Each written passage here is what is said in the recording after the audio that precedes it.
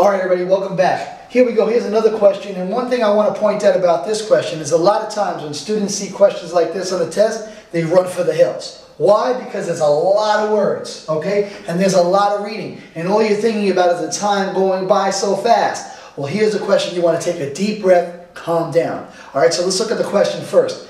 A girl signals her friend by shining a flashlight on a mirror. Okay, so let's pretend this is a flashlight really quick. The light is coming out, it shines on a mirror. Okay? Think about it like that. It says her friend can see the signal because. So we're trying to figure out why her friend can see the signal after she shines the flashlight on the mirror. Well, key things you want to remember. The light is coming from the flashlight, and here's the mirror.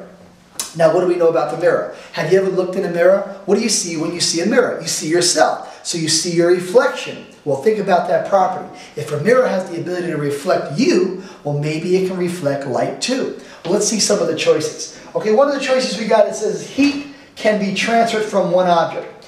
Right away, you know, that can't be the right answer because there is no here that they're talking about heat. So that's kind of cool. I'm not even going to waste my time with that one, okay? Number two says mechanical energy can be transferred. Again, they're not talking about a bicycle. They're not talking about anything that has to do with mechanics. So that's out. All right, so once again, you know I love it. 50-50 shot right here, and the clock is ticking.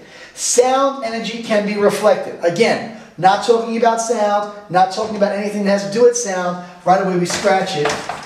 And I don't even have to read the choice, and I already know it's the right answer, but let's look at it. Light energy can be reflected. Well, here's the key word, reflected. And we know that when we look in a mirror, we're reflected. If you take a look at this right here, look at this box right here. Check it out. If I have it like this, you can't see any light, but the light is coming in right now. If I want to reflect that light, all I got to do is move the box, and I can see what's going on in the back of the room. So one thing we know about the property of light is that it reflects.